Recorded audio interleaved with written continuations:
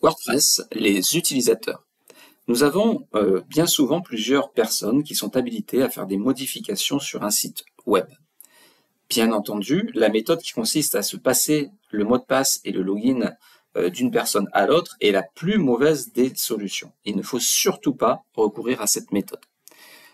WordPress permet euh, d'éditer un ensemble de comptes avec des droits plus ou moins différents en fonction des besoins des utilisateurs. Il existe donc différents rôles qui permettront d'avoir différentes permissions.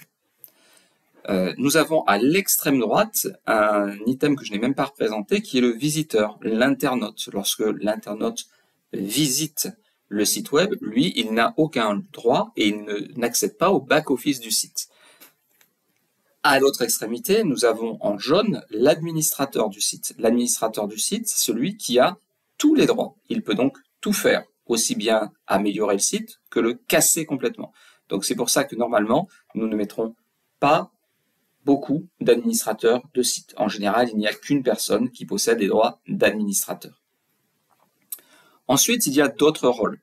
Le contributeur euh, est un rôle peu utilisé. C'est quelqu'un qui peut écrire un article, mais qui ne peut rien faire d'autre.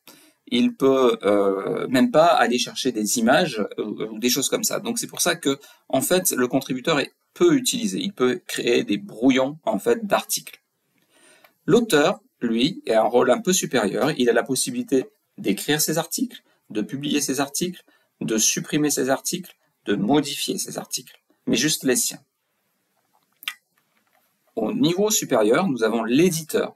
L'éditeur, c'est celui qui va avoir un droit de regard sur l'ensemble des articles de toutes les personnes, de tous les auteurs d'articles ou de pages.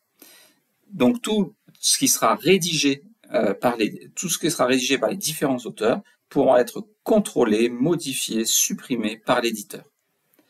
C'est un rôle assez important et on retrouve souvent des gens qui ont ce rôle d'éditeur. C'est un petit peu le responsable en chef qui va euh, guider la ligne éditoriale du site web.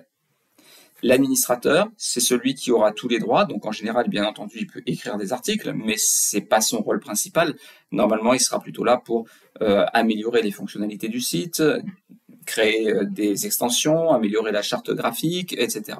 C'est le seul qui aura les possibilités de modifier les fonctionnalités du site. Exceptionnellement, nous avons un super administrateur. Le super administrateur n'est utilisé que lorsque nous avons plusieurs sites WordPress qui fonctionnent sur un WordPress unique. Ça arrive dans les grosses entreprises où nous avons plusieurs WordPress et euh, le super admin, lui, il aura vraiment tous les droits. Il aura les droits de créer des nouveaux sites, de supprimer des nouveaux sites, d'octroyer les droits à différentes personnes. Donc c'est un cas un peu particulier qui est utilisé uniquement dans le cas où une entreprise aurait pour un WordPress déployé un ensemble de sites WordPress qui tournent sur ce même WordPress. C'est un cas très particulier, nous ne le verrons pas ici. Voilà donc euh, les différentes catégories euh, d'utilisateurs. nous allons maintenant nous intéresser